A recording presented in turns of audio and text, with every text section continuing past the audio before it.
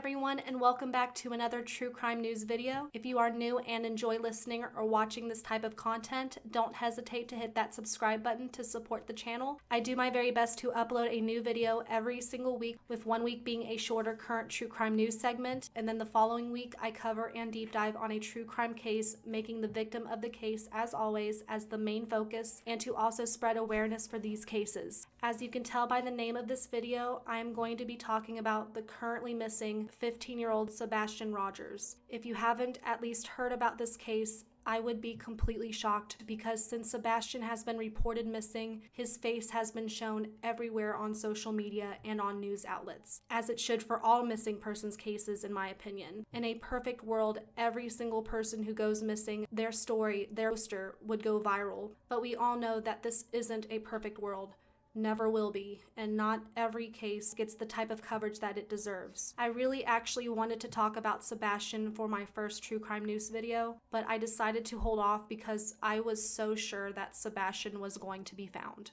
From the amount of people who have shared his face online, and the amount of news coverage he has gotten from the media in general, and the amount of people who have been involved in search parties for him, I was 100% convinced that Sebastian would have been found by now whether, fingers crossed, of course, he would be found safe or if he would be found deceased. I didn't and still don't know. But here we are, two months later, as I'm recording this audio, and there has still been no trace of Sebastian Rogers whatsoever. There are no leads to where he is or where he might be, and the active searches for him are now decreasing by the day. Like any single decent human being would, I have continued to hope for the best possible result that Sebastian will be found alive and unharmed but as each day passes, I, along with many others, are becoming less and less hopeful of that outcome. So, in the last minute, when I was deciding which topic to cover for True Crime News this week, my heart gravitated to Sebastian Rogers. If you follow me on Twitter slash X,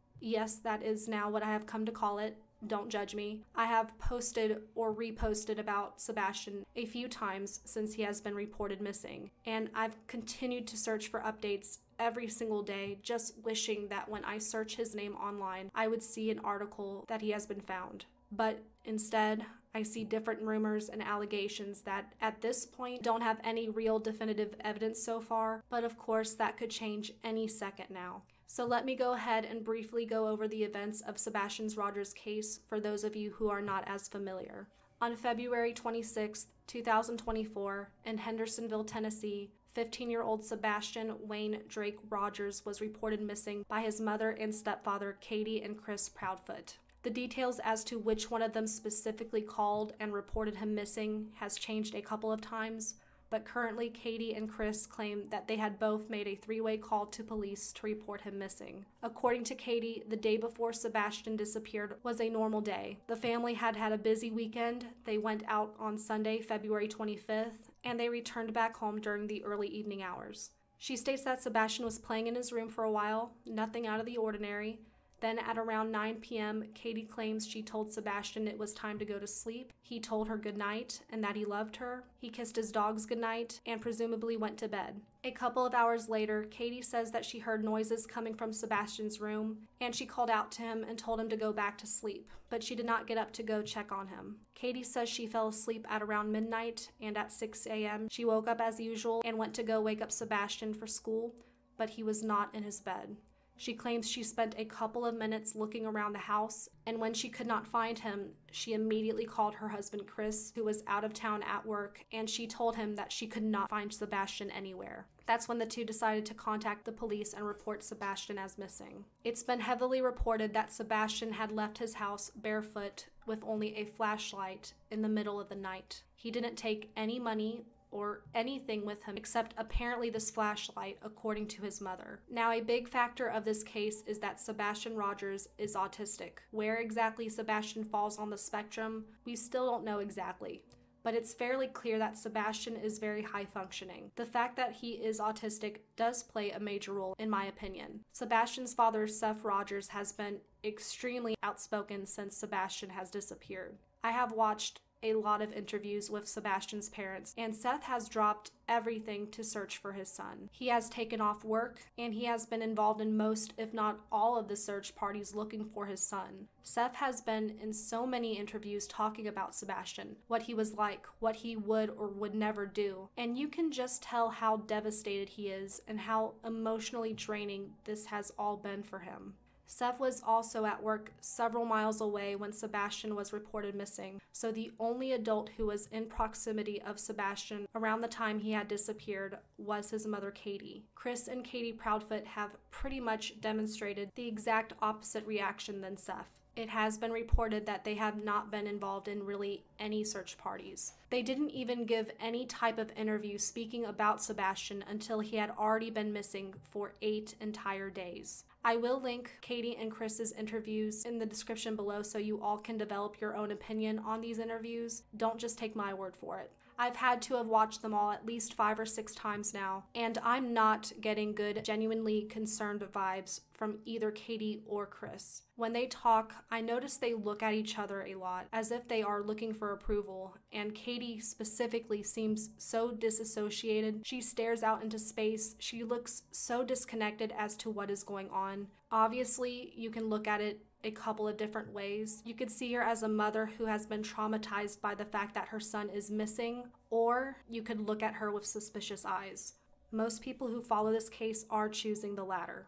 The night Sebastian disappeared, there is surveillance footage from one of the houses near the home of the Proudfoots that did pick up activity at approximately 3 a.m. The only thing this footage picked up were a couple of lights. This video went viral. If you follow this case, I'm sure you have seen it. Apparently, this footage was later debunked, and it came out that this was just a garbage truck's lights, which doesn't make any sense to me. And maybe I'm just an idiot, but does anyone live in an area where their garbage truck comes through their neighborhood that early in the morning? If so, please comment down below because I know the garbage truck that picks up the trash in my neighborhood is so loud, and if they came through at 3 o'clock in the morning, I would be so pissed.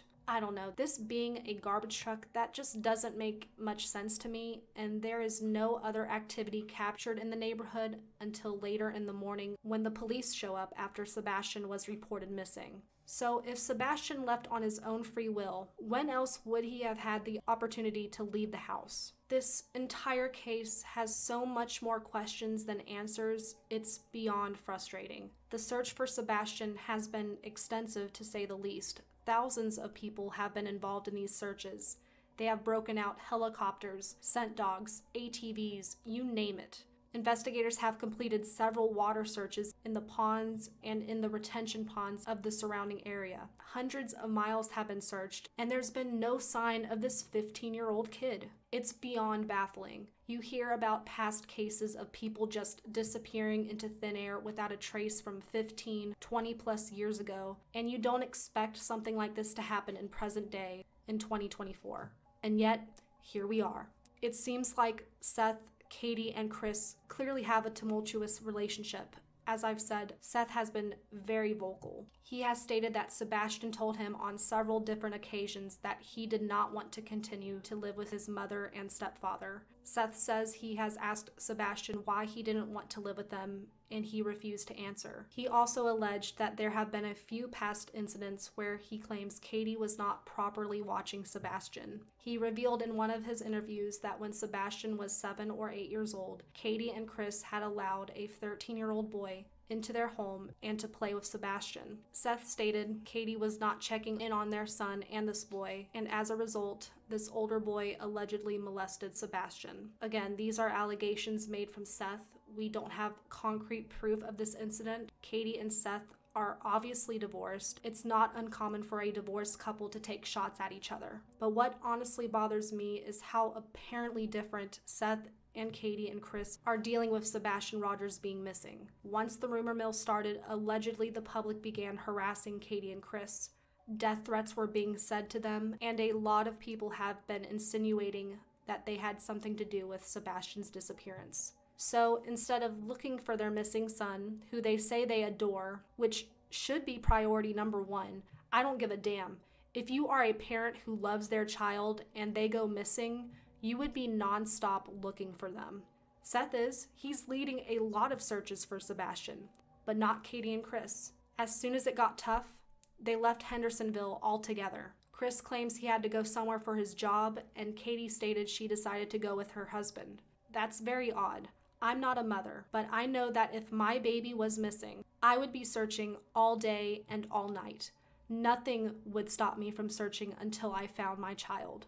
I'm not saying Katie or Chris had something to do with Sebastian's disappearance. There is no current evidence of foul play. There's no evidence of anything at this point. All scenarios, as far as I am and the rest of society is concerned, are wide open. Investigators have not been able to rule anything out. Did Sebastian voluntarily leave that night and run away barefoot? According to Seth, he would never do something like that. But we don't know. Did someone kidnap Sebastian? Did someone he know kill him and then dispose of his body? Did aliens abduct Sebastian? I mean, seriously, investigators can't rule out one scenario, and I have seen so many possibilities being talked about online. Anything is possible with this case since nothing can be ruled out. As of right now, Seth Rogers is hiring a private investigator, and Seth has also started a petition to have the FBI take over his son's case. I will link the petition down in the description box as well if anyone wants to sign the petition. I hope the FBI completely takes over this case and that Sebastian Rogers is found. After two months of being gone, he could literally be anywhere at this point. Continue to share Sebastian's case. I pray that one day I can make an update video that he has been found. But that is all I have for today. I will catch you all next week with a new unsolved true crime case. But until then, bye guys.